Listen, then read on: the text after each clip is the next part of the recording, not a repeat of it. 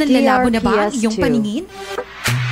Sagot ka ng Eleanor Optical Clinic, dating Norton Optical. Merong iba't ibang klase ng lente tulad ng anti-radiation lenses, progressive lenses, blue blocker lenses, photochromic or transition lenses, contact lenses, and more. May free computer eye examination pa. Eleanor Optical Clinic. DRPS2. Bukas alas 9 ng umaga hanggang alas 5 ng hapon. Sunday to Friday. Eleanor Optical Clinic. We make eyeglasses while you wait. Nasa Liboro Street, San Jose Occidental, Mindoro. Malapit lamang sa BIR. Hanapin lamang si Dr. Tenny De Jesus Aguilar, licensed optometrist. Eleanor Optical Clinic.